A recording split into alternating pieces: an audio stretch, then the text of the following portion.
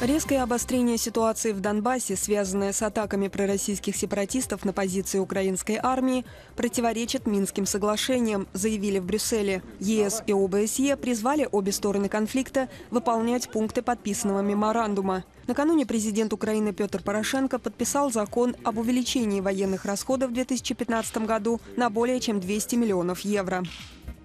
Министр сельского хозяйства ФРГ Кристиан Шмидт назвал уничтожение санкционных европейских продуктов в России этически совершенно неприемлемым. В интервью газете «Neue Osnabrücker Zeitung» он призвал Кремль ослабить запрет на поставки продовольствия. Между тем, российские власти обсуждают вопрос о том, чтобы расширить продовольственное эмбарго на страны, поддерживающие санкции ЕС.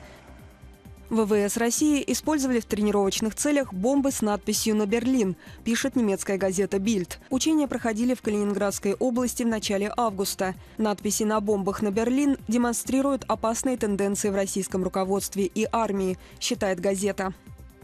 Народный банк Китая в среду во второй раз девальвировал юань. Его курс снизили на 1,6%. Накануне юань был девальвирован почти на 2%. Международный валютный фонд одобрил решение Пекина как шаг к свободному рыночному регулированию курса юаня. В бразильском Сан-Паулу прошла церемония открытия чемпионата мира по профессиональному мастерству WorldSkills. Его цель – повысить престиж рабочих профессий. В соревнованиях принимают участие более тысячи человек из 60 стран. В 2019 году чемпионат WorldSkills пройдет в России.